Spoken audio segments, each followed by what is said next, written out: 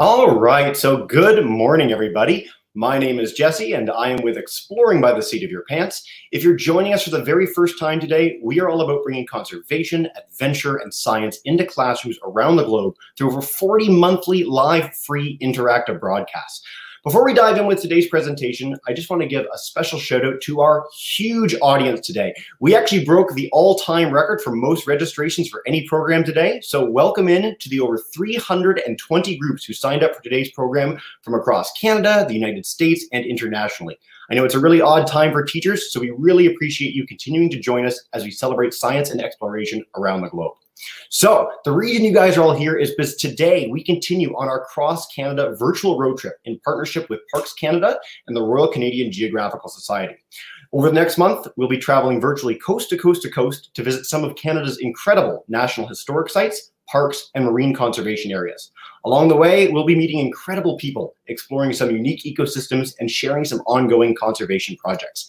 If you want to see the full lineup of English language events, you can check out our website here. Uh, I'll leave that up on the screen for the remainder of the intro. So last week, we went out east to Kouchibouguac National Park to hear about river otters and ecological monitoring. It was so much fun, and it's on our YouTube channel if you want to check that out. Today, we are going north. We are going very far north on an adventure together to the Arctic Ocean. So grab your parka, some snowshoes, and a sled, and join us for an adventure like no other to learn about Canada's only national landmark. For this adventure, we'll be heading north on Canada's only road to the Arctic Ocean to answer the important questions, like what is a pingo? Why are they here? Why do they need protecting? These questions and more will be answered on our Tundra adventure, and you'll get to see how Parks Canada works with the Inuvialuit and other partners to monitor the coolest polar feature on the landscape. Without further ado, I'm going to turn it over to the delightfully named Kyle Mustard up at Pingo National Landmark to take us away on a really exciting journey. So, Kyle, thank you so much for joining us today, man, and take us away. Thank you, Jesse. And Uvlami, and welcome to the Arctic. I'm speaking to you from the traditional lands of the Inuvialuit, about 200 kilometers north of the Arctic Circle in the Northwest Territories. So we were going to broadcast this from outside, but unfortunately, the weather decided to blizzard on us. So we're inside in our studio today. Uh, my name is Kyle, and today we are going to go on an adventure to where the road ends in Canada's north. But before we go, I'm going to get you guys all, wherever you are, to practice saying good morning in Inuvialuktun, which is the language that people traditionally speak around here. So, can I get everyone to say uvlami? So, uvlami means good morning. So, way to go, everyone. Now, come on, grab your coat, some snowshoes, because we're going to head to the Canadian, the Pingo Canadian landmark. All right, we made it to the Pingos, but what is a pingo? Well, you're actually looking at pingos. To your left, you've got Ibyuk pingo, and to your right, we have split pingo. But what is a pingo and why is it so important? Well, let's go check one out and find out. Come on, guys.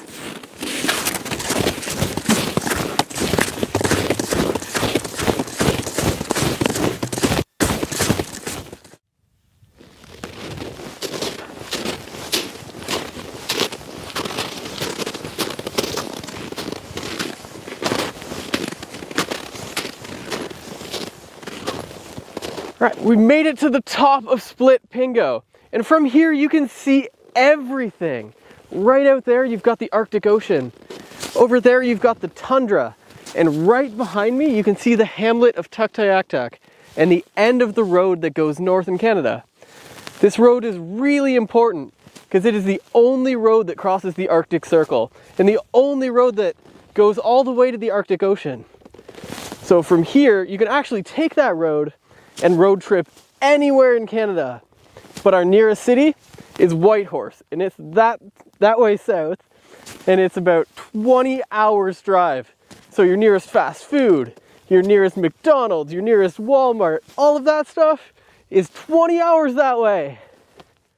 So imagine that it's summertime out here on the Pingos. And out there you've got whales swimming by in the ocean. Over there you've got thousands of caribou or as they're known here in Inuvialuktun, tuktu. Can everybody try and say that? Tuktu. One more time, tuktu. All right, awesome guys. we said it. Now you guys know another Inuvialuktun word. So why are these important? Caribou and whales are what people survived on. This is what they ate. But they also ate berries, fish, and other wildlife that you can find right here at the Pingos. So here you've got thousands of berries. You've got different cranberries and blueberries and ukpiks. You've also got different fish like loche, whitefish, jackfish. And you've also got a ton of different birds like sandhill cranes, tundra swans, and geese. All of these things are so important. So, other than that, why are the pingos so important for this area? Well, we protect them because there are just so many out here. Right here in the Tuktoyaktuk Peninsula, we have more pingos than anywhere else in the world. There's 1,350 in total right here in this area. And why are pingos so special and so different? Because they don't look like they should be here, right? So you've got all of this flat land, all of the tundra, and then these pingos jutting out of the land, about 30 meters each. They're huge, and that's why you stand here and can see for miles. So, what are pingos? What makes them different from just a regular hill that you would find anywhere else in Canada? Pingos are made of ice instead of made from soil or land like a mountain or a hill anywhere else in Canada. And they're found all over the polar region in the world. But here, right here, right where we're standing, has more of them than anywhere else. And that's why Parks Canada protects them alongside their Inuvialuit partners. Pingos themselves, these ice cored hills, grow for, thou- for about a thousand years. And they grow and they grow up and then they sit here for a while and they stabilize until they collapse in the end. They're super important. So how important are the pingos? Well, the pingos are so important that the Inuvialuit actually decided to put it into their land claim agreement. So, the Inuvialuit Final Agreement, which was written in 1984, covers the entire Inuvialuit settlement region in the Western Arctic. And the pingos are actually written into that so that we, as Parks Canada, legally protect it from here until the end of time. All right, it's getting a little bit cold up here on top of the pingos. So, to learn more about how we protect them and what we do to manage the pingos, let's go back to studio. Ready? Let's go.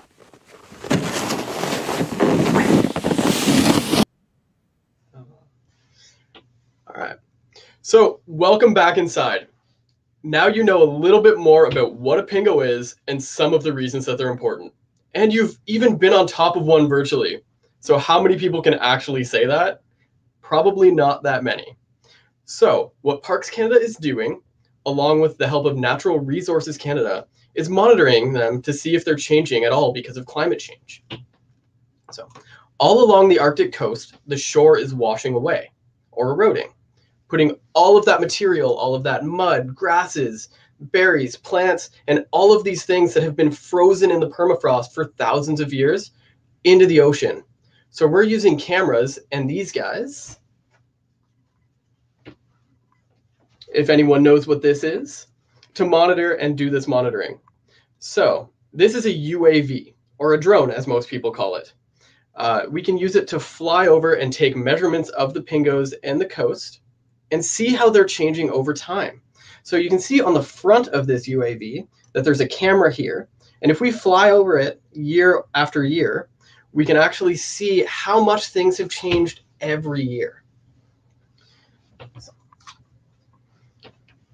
So that's one of the ways that we can do it uh, with that 4K camera. So if you guys want to check out some of these pictures here, so we'll show our first picture. Uh, we took these last summer, so you can just see how much of this land is actually falling away into the sea. You can see on the bottom corner of that picture, there's two little colorful dots, and those are actually full-grown people and that is just to show you how big this land actually is and how much is washing away. So if we go on to the second picture, and you can see that there's about a meter of coastline in this area alone in Tuktoyaktuk that's washing away. But in other parks that we monitor here in the Western Arctic, like Ivavik, we're actually losing up to nine meters in some spots. But in this picture here, you can see the cross section of what permafrost looks like. So you can see the top layer there above that icy layer is called the active layer of soil. So that'll freeze and thaw every year. And that's where all of the vegetation grows. So all of the grasses, all of the willows, all of the berries, all that kind of stuff will grow in that active layer. And then you can see underneath it, that frozen layer beneath it. And that frozen layer in Tuktoyaktuk goes down about 500 meters. But as the sun beats down on it in the summer and the waves come in and crash against it in the summer, we're losing that due to this erosion. So if we go to the next picture, so we monitor it from above and we fly these UAVs so that we can get these dramatic pictures and show what these things look like. If we go on to the next picture, we're not only using drones, we're actually using these remote cameras to see what things are looking like as well. So these remote cameras actually take pictures at the same time every day. So if you take pictures the same time every day, you can just see the daily change. And in the middle of the summer, this erosion is happening so fast that we can see that. So if we come back to me here, oh, the next picture. So to do these pictures, so if we come back to me, this is what one of the remote cameras looks like. So this one is one of ours, so not one of Natural Resource Canada's and it can take that picture. We can also set it to take pictures of wildlife, and we do that some in some of our other parks. So we go back to the pictures. One of the ways that we have to get out to do these kind of things, to check our cameras, to fly the drones, is we have to actually helicopter out to these sites because they're so remote. Which gives us a way better view of what's going on because then we can see for ourselves what's happening from the air.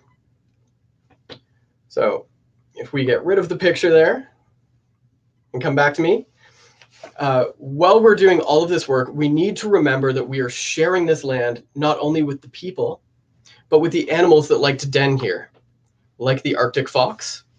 Which I've got an Arctic fox fur here, so you can just see how well this guy blends in with the with the landscape. You can just see how white he is. He's a little bit shorter than your red fox, and he's just really well adapted. But we also need to make sure of our safety because not only do we have animals like that, but we have animals that would want to eat that as well, and then also would hunt on people. So we need to make sure that we carry our bear spray with us because we also have polar bears. And this is a real polar bear skull. And this is actually a small one. So you can just see his fangs here. You can see how big that is compared to my finger. So I really would not want to tangle with this guy in the wild.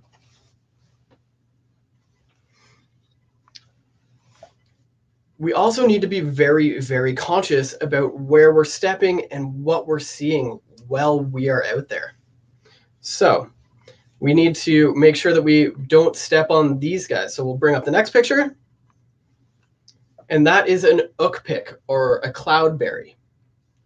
These berries are so important for the people and the animals that live here. They provide vitamin C.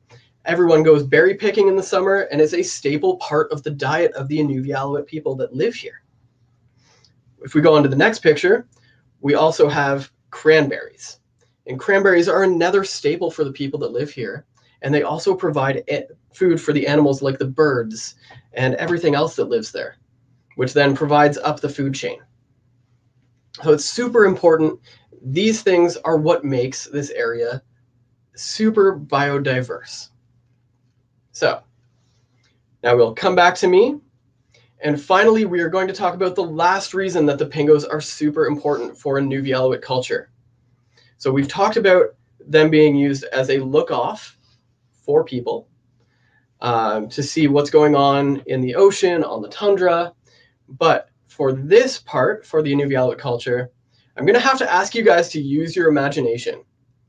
So first, we're going to have to travel back about 200 years ago. So before Europeans came to this space, and you are an Inuvialuit hunter floating off the coast in your kayak.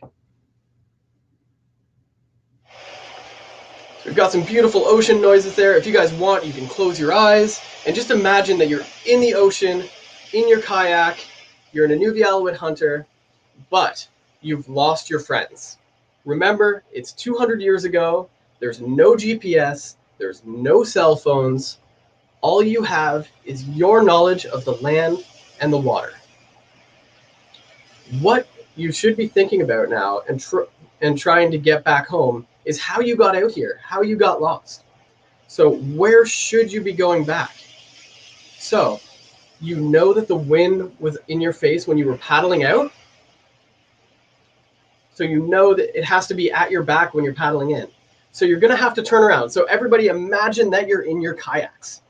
So, hold your paddles. I don't know if you guys have ever kayaked before, but if you hold your paddles out, hold them up, and we're going to try and paddle and we're going to hold and we're going to paddle to the right so we can turn this boat around. So in three, two, one, we're going to paddle to the right. So paddle down, paddle down, paddle down, and we should be turned around now. So now that the wind is at our back, we are going to have to try and paddle back in. So we're going to try and paddle hard. So you have to paddle left and right in the kayak, right? So let's start paddling and let's start paddling hard. So in three, two, one, we'll paddle, but make sure you're keeping an eye out for anything that looks familiar because you don't have your friends. It is super dangerous to be out here alone. You never know what's going to happen in the ocean. So three, two, one, we start paddling. So right, left, right, left, right, left. And now you're kind of looking out on the landscape. You don't see anything yet, but you do see a whitefish swimming around. So we're going to keep on paddling. You kind of can see the bottom.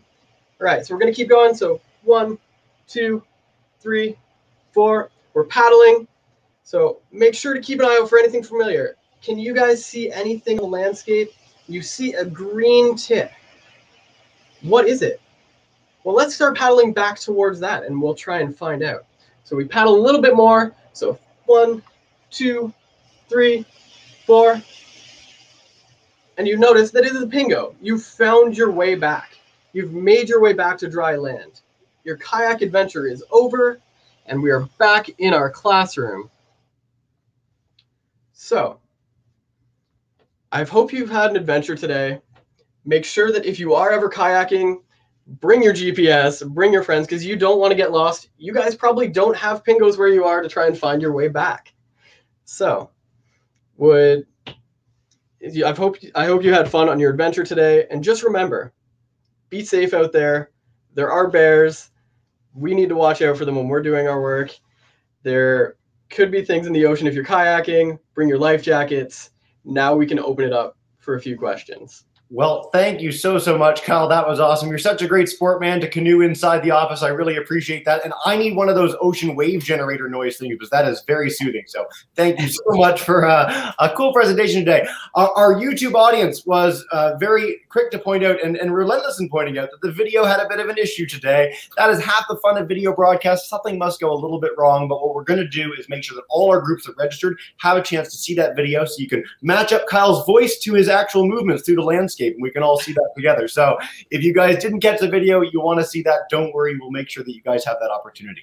Uh, Kyle, yeah, we're going to dive in with questions. We've got a whole bunch, over 330 people in groups watching on YouTube right now. So if you're on YouTube and you're a classroom teacher, firstly, let me know where you're joining from. We'd love to get a sense of our audience today. And then you can begin sharing questions in the chat. We've also got our six live groups with us, so it's really exciting. I'll come to you guys in just a minute live so you guys can percolate your questions. And I'll start with one from Miss Wilton's class at St. Patrick's School. So they're on YouTube and they want to know um, is the fur real? We get this a lot when people bring in animal artifacts. So can you tell us about the fur and the skull and what's going on? so both of these things that I showed you today, both the Arctic fox and the polar bear skull are both real. Uh, so you can actually see his, uh, unfortunately, his little face here and uh, his legs underneath. So one of the unique things about an Arctic fox is that their legs are really, really short and their bodies are actually really, really round. and that actually helps them here on the tundra because it helps them conserve body heat. Uh, a little bit different than your than your regular red fox, but he's still got the really really fluffy tail. Fantastic. Thanks, guys. We, we did this in Boot Walk too, is that there are animal skulls, furs, things like that, but they're really useful as teaching tools. And I don't know for any of our students, it's been a long time since we've had the chance to maybe hold one of these in person, maybe at a zoo or a Parks Canada site, uh, but they're really, really special. It's, I think, a, a a fantastic opportunity to connect with wildlife, to actually get to hold a fur, to feel a skull, to see what the sort of the animal's like and it's, it's in the wild. Um, fantastic, guys. Great first question. And thank you for all the questions coming in on YouTube as well. I'm going to go to Miss Kitchen. Uh, she can kick us off with a question with one of her students uh, joining at home. So, Miss Kitchen, welcome in and take us away. okay, thank you. Um, I I have a couple questions just to start off. Um, when we were looking at the shoreline and we saw the permafrost, um, question is, is it washing away uh, because it is defrosting or the ocean rising or both? So that's question. It's actually a little bit of both. Uh, so the ocean is, of course, we're getting stronger storm surges uh, because there's less ice in the ocean every summer. Uh, so that's actually really combating that. So the storm surges are coming in and they're washing away a little bit more, but it's also thawing because as soon as you expose that permafrost to the sun, the sun beats down on it 24 hours a day for about 60 days up in Tuktoyaktuk. So if you have 60 days of sunlight continually beating down on this surface, it's going to be thawing a little bit more. So the more that that storm surge hits it, the more it gets exposed, and then the more it melts away, thaws away. Fantastic. Thanks, Miss Kitchen, for that first question. Uh, let's head now to Miss Buckland's class. Uh, if you guys want to come on in for a question, go for it. Hi, Hi there. I had a question from one of my students. We're joining from Windsor, Ontario. Uh, one of my questions from my students was Are pingos in other very cold places like Antarctica, the South, the North Pole? So, pingos actually happen all around the polar region. So, yeah, so the Antarctic region and the Arctic region uh, we like to boast because we have the most pingos of anywhere in the world, or the highest concentration within this area, and that's why they're so special in this area. Um, we actually have the second tallest pingo in the world within this area. It's called Ibyuk. It's 49 meters tall. It's only about three meters shorter than the tallest one, which is actually in Alaska maybe it'll grow and we'll get a little more national pride. We'll like just surpass them, like a CN Tower type thing. Um, awesome, guys. Miss Robbins class, come on in. Uh, I know your text's been a little iffy in the background, but hopefully you're good to go. Come on in for a question with us if you can. Yeah, my tech is being a little iffy and no camera. Um, my one student was wondering how many polar bear skulls you have found in the area. Yeah. So how many polar bear skulls we found in the area? Uh, so we don't actually find the skulls. Uh, people here hunt polar bears to sustain their families, and that is part of their way of life. Uh, so these polar bears uh, skulls that we have here at Parks Canada usually get donated to us from those hunters. That's fascinating. It's so interesting having done a lot of polar bear programs in the past to hear about that because, of course, when most people think about polar bears, they think about protecting at all costs. And I think one of the, the great stories that Parks Canada can tell and that Indigenous communities in the North can tell is that of subsistence hunting. It's one that we could probably do an entire whole broadcast on. But I'm really, really happy you mentioned that today. And, and hopefully our, our classes take the chance to look into that, learn a little bit more. We'll, of course, be linking more on the Pingo National Landmark at the end of the broadcast. So uh, perhaps there's some information there that our classes can check out. So thank you for that, Kyle. Um, I'm going to take a quick question from YouTube before we go back to our live class. So Miss Smith and Donnan, I will come to you guys in a second. But I love this question from Catherine Daunt. Um, a student would like to know the difference between a canoe and a kayak. I'm, your, your demonstration inspired this question, Kyle. All right. So a canoe is uh, generally an open boat, uh, and you basically you paddle it because you've got a paddle that you paddle like this, whereas a kayak has a two-bladed paddle, and you sit in the middle, and it's open and it's got a I can't remember what it's called, but it's basically a hole in the middle of the boat, and you paddle on both sides. Yeah.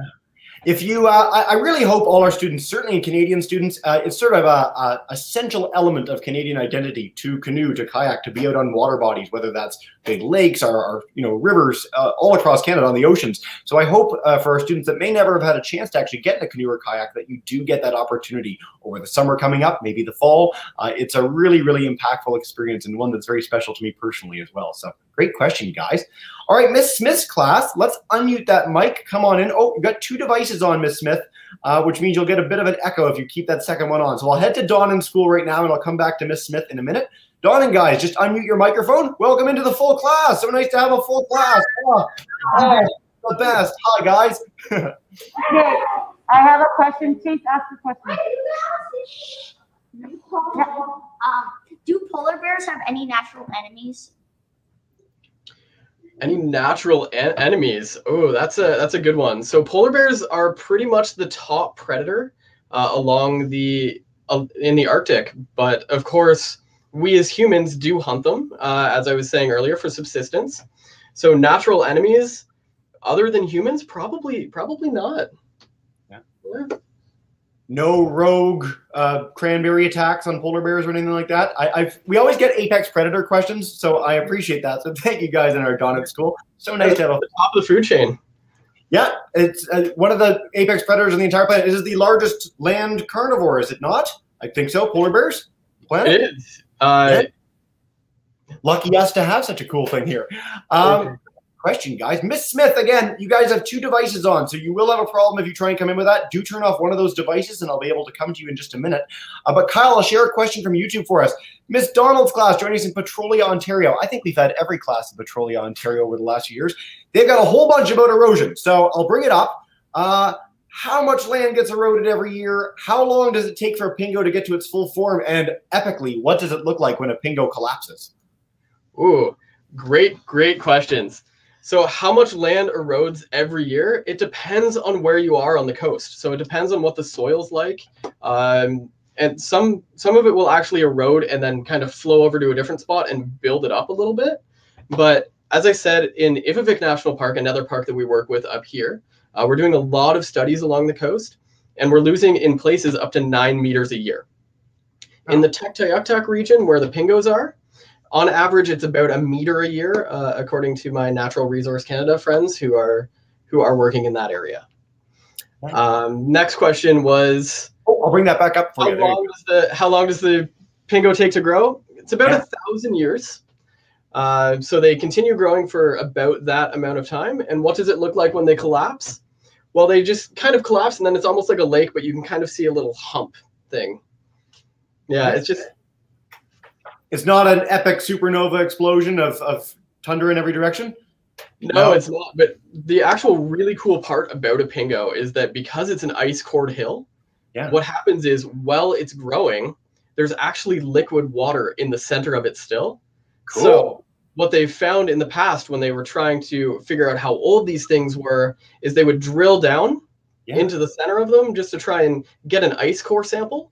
And sometimes if they did that and there was water in the center still, it would gush up like an oil gusher because there's so much pressure built up in the middle of these things. How cool is that? I love that. Thanks, Kyle. All right, guys, we're going to go back to our live classes for another round of questions. We'll take a few more from YouTube. We are whipping through these, so thank you guys for these awesome questions. Uh, Miss Kitchen, if you want to come back in and take us away, go for it. Uh, sure. Am I allowed to ask more than one or just one? You can ask more than one. Be a rebel. Let's do it. I'll be a rebel. Okay. All right. Um, questions. Uh, what year did Pingo start um, being studied? When did that study start? And um, what kind of animals live in the area that you'd find Pingos? Yeah. That's a good start. We, we don't want to overall what year did Pingo start getting studied? Uh, I can't give you a specific date. I don't actually know off the top of my head, uh, but I can reach out to you afterwards uh, and and give you a specific date. I'm pretty sure it was in the 70s, um, but I I don't know for certain. And what kind of animals call this place home? Yeah, if, if you want to look that up. Yeah, my uh, my colleague here is just going to look it up. Um, what kind of animals make this place home? Well, we have tons of aquatic species Uh, so I've seen beluga whales there. Uh, I've seen lots of fish there, some uh, sandhill cranes, geese, tundra swans. Uh, of course, we've got caribou out there. Uh, we've got grizzly bears. We've got polar bears, uh, Arctic foxes, lots of lemmings and other small small mammals as well.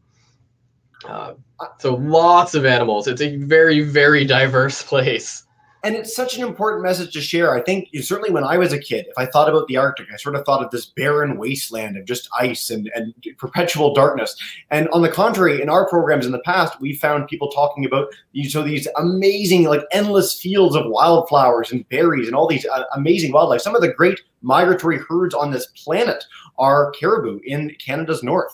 And, you know, we talked about apex predators with polar bears earlier. I think that's such a special and important thing for kids across Canada and around the world to know that it's such a rich and amazing ecosystem and the home to so many amazing peoples. So uh, I think we've done a really exciting job of sharing that story today. So thank you so much for that, Kyle. Um, Miss Buckland's class, come on back in, uh, take us away and ask away. so my student had a two-part question. How do animals depend on pingos and do plants also depend on them?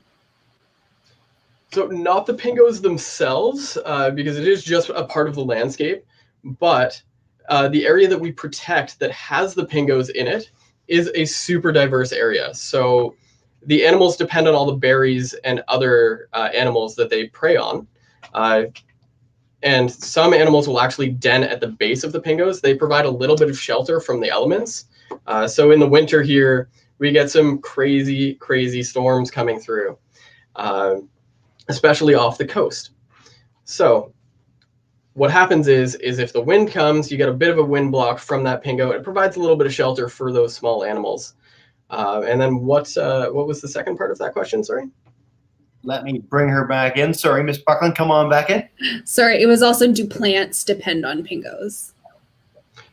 Yeah, so not so much the actual pingos themselves, uh, but again, there are a lot of different plants that just rely on that uh, freeze thaw of that of that active layer, uh, which is part of a permafrost structure, which is also what the uh, what the pingos are. Yeah, fantastic. Thanks, Miss Buckland. All right, we're gonna go to Miss Robbins and then Dawn in school. Dawn in school, you guys shared a really cool question in the chat bar, but save it for live. It's more fun to share it on camera.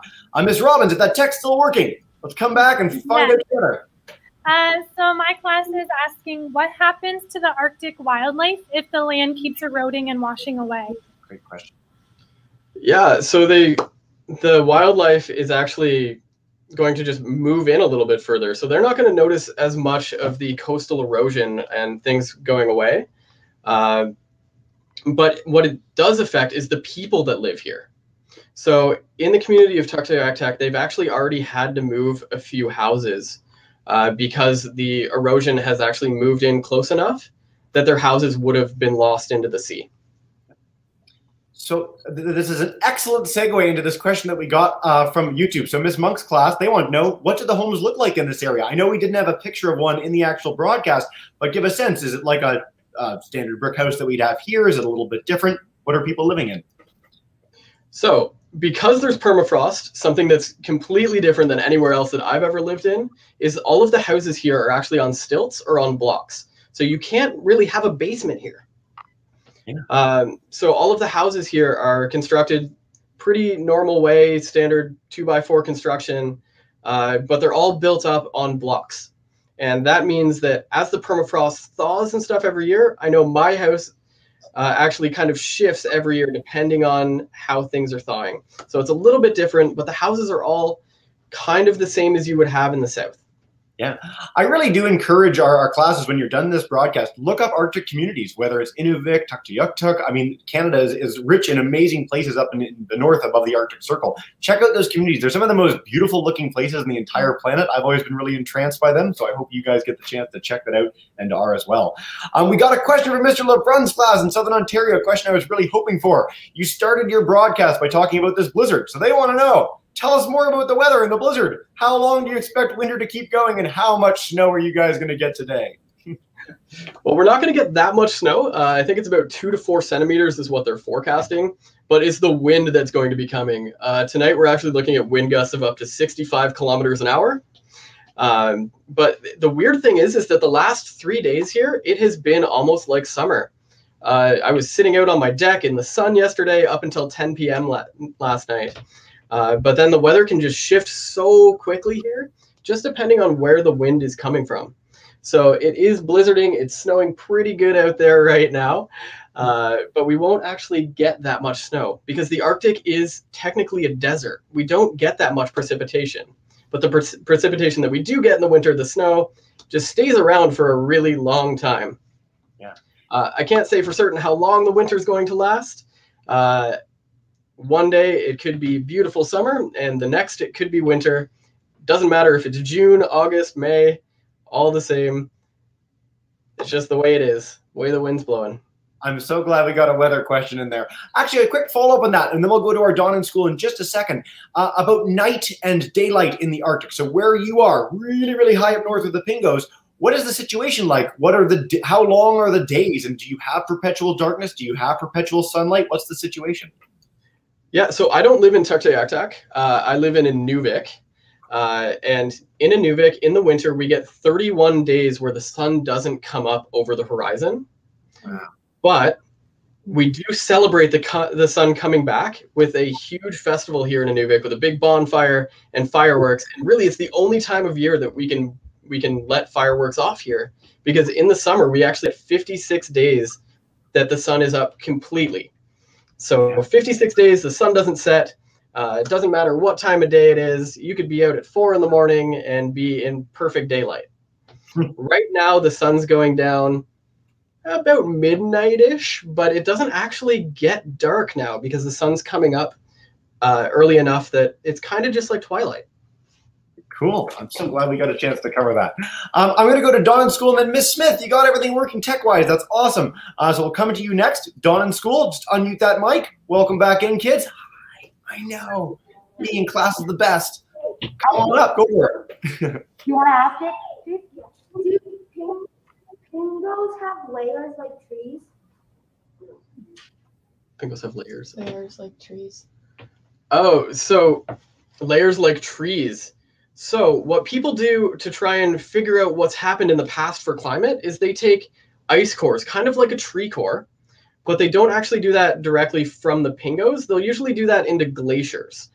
Um, the layers of the pingo will kind of build out, and then you have your active layer, like I was talking about with the soil, and that actually kind of holds everything in place, and then it's all ice in the middle. So it's a little different than like a tree layer kind of thing to try and figure out the age. I, love the question, though. I love where your head's at, guys. One of the cool things about tree layers is that it's based on the fact that they have a growing season. So they live and they grow in a certain season, then they stop growing. And so you end up with that ring structure that we see inside tree cores. Coral reefs have something very, very similar. So you can age coral reefs based in that sort of way as well because they're alive, uh, unlike pingos. So very cool question, guys. All right, Miss Smith, if this works, fingers crossed, come on in and share a question. Okay, can you hear me? Yeah, we're all set. Okay, so one of the students wanted to know, and we hope this hasn't been asked yet, we- as you know, we've been having technical difficulties, but how tall is a pingo? Yeah. Yeah, so pingos, uh, as I said, we have the second highest pingo in the world here, and it's 49 meters tall. So it is very tall. Uh, so when you're on the flat tundra landscape, you can see everything from up top it, of it. Uh, we were on the second largest pingo that we have in the area when we did our video, and you could see for miles. Um, as I said, the tallest pingo in the world is in Alaska, and it is about 53 meters tall. Uh, so it's just a bit taller than than Ibyuk over in Tuktoyaktuk. Fantastic. Thanks, Miss Smith, for getting in, and I'm, I'm glad you made it all work. Uh, we're going to take two more questions. So one that I've gotten a few times on YouTube and in the chat bars, how did pingos get their name? What's the where does that name originate from? So Pingo actually means hill in Inuvialuktun. that's a that's a good a good descriptor. Um, Kyle, our, our biggest question that we've gotten on YouTube and one that I was very much expecting we get a lot of today is about climate change. How is climate change affecting the pingos? I know you've talked about this a little bit about where like what's the future hold for this landscape and for this amazing place. So the two main pingos that I showed you are pretty far away from the coast, uh, and as long as they don't get their cores exposed, they shouldn't be that affected yet. Uh, however, we are seeing some pingos right along the coast that have been almost sheared in half just by the storm storm surge and the coastal erosion that's happening. Uh, so yeah, things are things are happening with climate change up here. Uh, we're definitely seeing a lot uh, bigger variations than you do in the south up here in the north. I like to talk to elders a lot uh, at festivals and in the wintertime. Uh, and when it's about minus five degrees at the Sunrise Festival that I was telling you about when we welcome back the sun, a lot of the elders that have been around for uh, a really long time up here say that it should be around minus 60. So there's a lot of variation um, about uh, how how much it's changed here. Um, and and yeah, climate change is definitely affecting us up here. Yeah.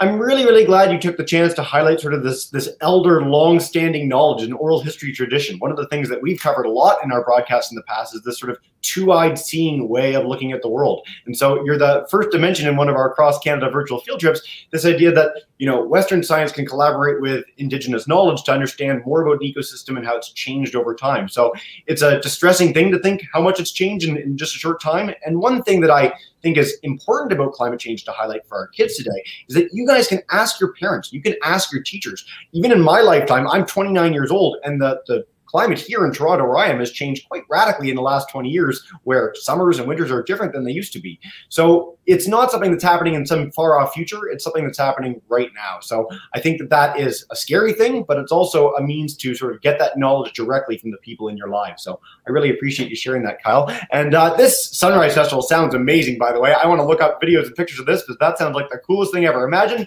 you know, a month without sun, and then suddenly it crests the horizon. You get to have the biggest party of all time uh, you're a very lucky person to be in that uh, place to have that sort of situation. Uh, Kyle, before we wrap up in a minute, I just want to share a few things for our audience today. If you guys are keen to learn more, take part more in this cross Canada virtual field trip, again, head to the exploringbytheseat.com slash cross Canada virtual road trip uh, to find out our whole slate of programs. If you go to our YouTube channel as well, you will see all our past programs in playlists in English and in French. And of course, if you want to find out more about this partnership and the amazing organizations that are bringing this virtual field trip into fruition, uh, check out pc.gc.ca, the Parks Canada site, for all about their national landmarks, historic sites, and more. You can check out rcgs.org for the Royal Canadian Geographical Society and us at exploringbytheseat.com. Finally, if you want to learn more about the Pingo Historic Landmark by itself or National Landmark by itself, check out this website. I'll leave that up for a little bit, kind of an unwieldy URL, and I'll put all of these in the chat in the next few minutes as well.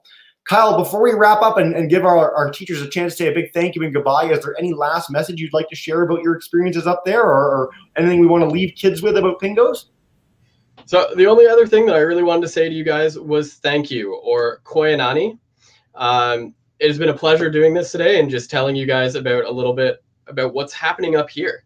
Uh, I'm, as you can tell, I'm probably not originally from here, um, but living up in this area has been totally eye-opening for me.